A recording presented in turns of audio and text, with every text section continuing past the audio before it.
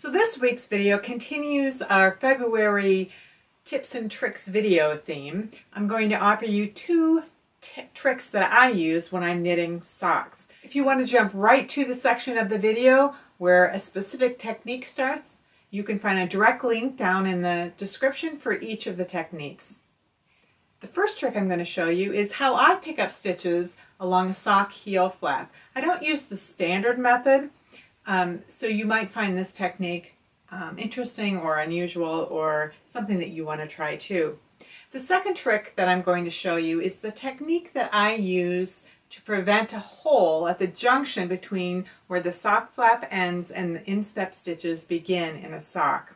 First, let's get started with some background and context information for how stitches are typically picked up along the side of a heel flap.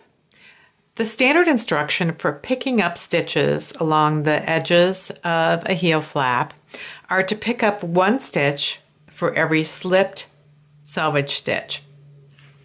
So the way that you would typically do that would be to insert uh, your needle between the selvage stitch and the second stitch in so that when you inserted it between there you could see both legs of the selvage stitch uh, sitting on the needle. Um, and then you would grab a bite of yarn um,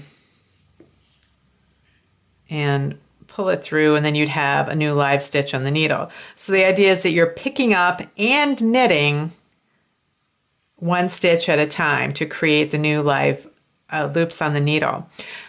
What this does when you're done is that it, it, it creates that whole selvage stitch on each edge ends up on the inside of the fabric. So on each side of the heel flap on the inside, you have a column of selvage stitches lying on the inside of the fabric. Now for most people, this wouldn't even be noticeable when they're wearing it. Although the thicker the yarn, like this is pretty thick yarn, the thicker the yarn that you're using, the bulkier that ridge will be and the more likely it will be that it will be felt.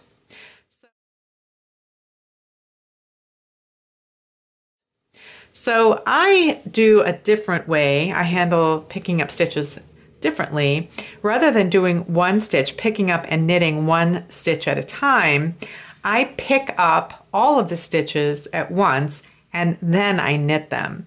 And the way that you do that is by lifting just the very edge of each stitch, so one leg of each stitch. So if you look at the selvage stitches, they look like V's. And so the very edge of the selvage is this outer leg right here. And so I take a double pointed needle and I pick up that outer leg of each one of those stitches all the way up. So one of the advantages of doing this is that you can uh, get all the stitches on, make sure that you have the number that you were expecting to have. So I have, I'm wanting to have 10. So I have 2, 4, 6, 8, 10. I do have 10 stitches.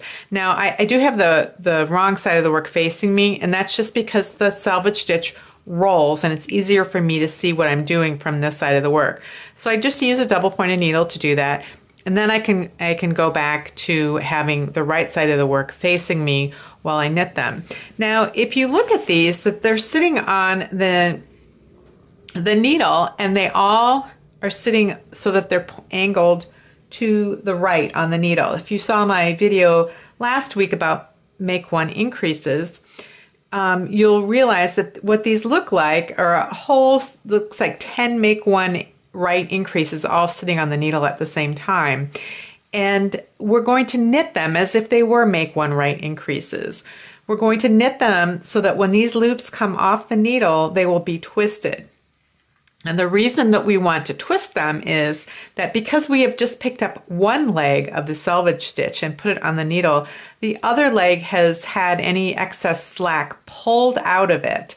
So if we were to just knit this stitch like a normal stitch, like just go through the center here and knit it, we would have the same problem that we would have if we were working a make one increase and not twisting it.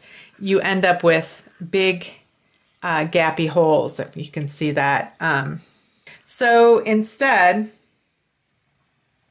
we have these on the needle and we work them so that they twist. And if you remember with um, when you want the stitches to twist, you look at the angle that that strand is sitting on the needle and you want the working needle to uh, be pointing in that direction while you work it. So we're going to be coming through the front of each one of these stitches and it's always tricky. It's always awkward because um, when you're working them so they twist, it's never, never as comfortable as working them so that they don't twist. But we're going to do every one of these all the way across the needle.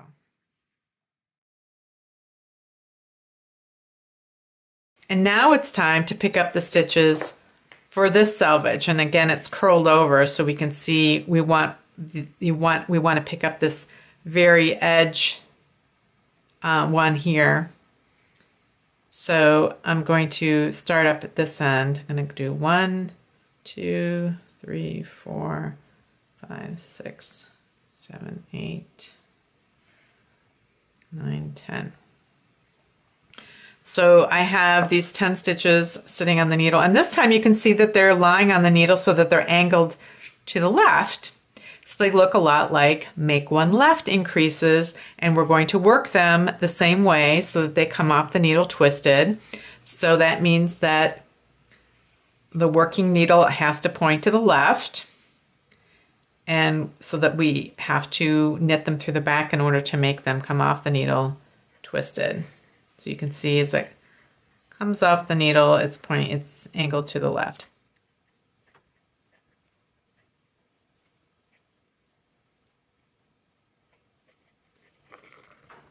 So you can see that those are all angled to the left.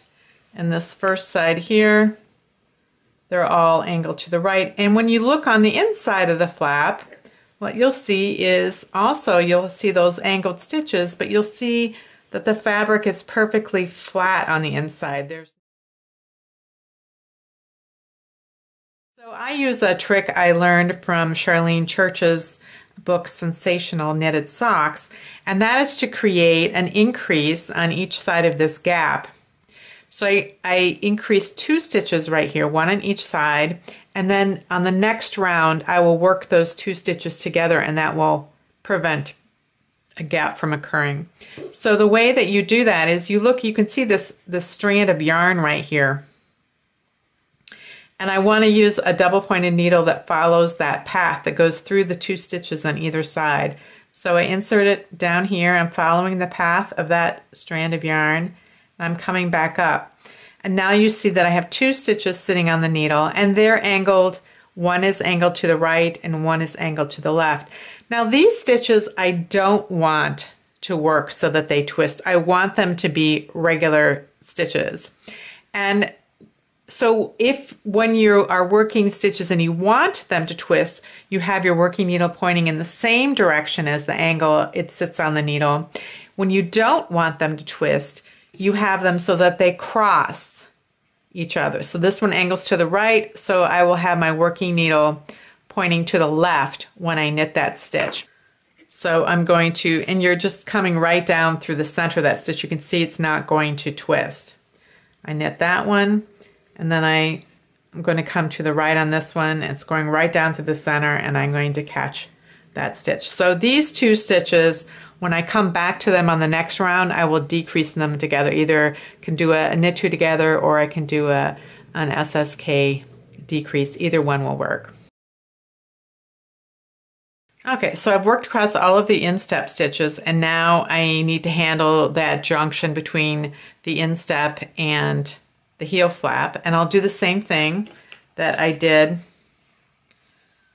uh, on the other side of the instep. I look for this top strand and I follow the path of that strand uh, using a double point, inserting a double point through them. And again, you'll see the stitches, one's angled to the right and one's angled to the left. And I want the working needle to, to cross that. I want them to point in the opposite directions of each other to keep them open increases.